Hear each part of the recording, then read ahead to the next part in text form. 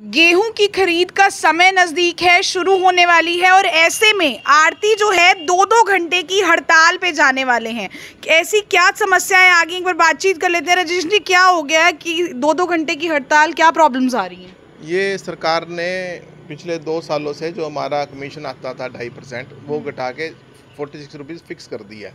भाई एमएसपी कितना भी हो चालीस रुपये फिक्स कर दिया है। जिससे हम हर एक आड़ती को दो से तीन लाख रुपए का नुकसान हो रहा है। और जो फ़सलें हमारे थ्रू बिकती थी जैसे सरसों होगी या कॉटन होगी वो उन्होंने डायरेक्ट लेनी शुरू कर दी है। इससे आड़ती को आर्थिक नुकसान हो रहा है। और जो हमें ये कमीशन मिलती थी पिछले 28 सालों से मिलती थी। 28 सालों में देखो महँगाई कितनी बढ़ गई है और अब कितनी हमें कम मिलना शुरू हो गया ये और दूसरा इन्होंने यूपी जो जो हमारी फ़सल आती थी वो बंद कर दी है।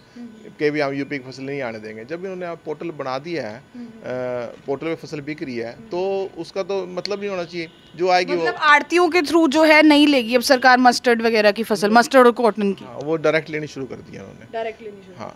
तो आप लोग हड़ताल पे जाएँगे ऐसे में कहीं ना कहीं किसानों को भी काफ़ी प्रॉब्लम होने वाली है। हाँ जी बिल्कुल किसानों को प्रॉब्लम होगी। जब मंडी में हड़ताल होगी तो किसान परेशान होंगे ही। तो पहले हमारी समस्या हल करेगी गवर्नमेंट जब भी गवर्नमेंट चालू होगी यहाँ खरीद चालू होगी तो उसके बाद ही काम चालू होगा मंडी में।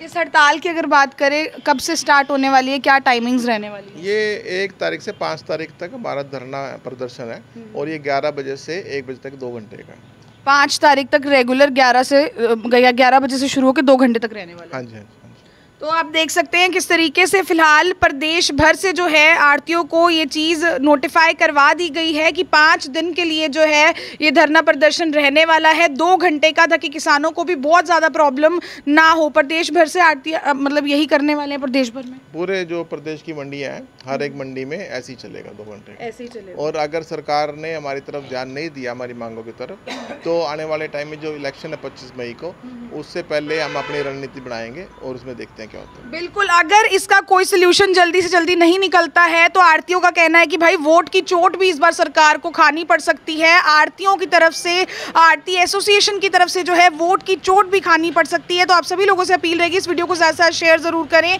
ताकि जितने भी किसान हैं, वो भी समस्या उन्हें भी ना हो और साथ ही साथ जो भी इनकी मांगे हैं परसेंटेज को लेकर और साथ ही साथ खरीद को लेकर जो बंद कर दी गई डायरेक्ट आरतियों से, उस पर जो है सरकार एक बार विचार ज़रूर करे और जल्द से जल्द इनकी मांगे पूरी की जा सके लाइव तस्वीरें आप देख रहे थे। मेरे नीरा बांटा के साथ टिपटॉप हरियाणा पर। धन्यवाद।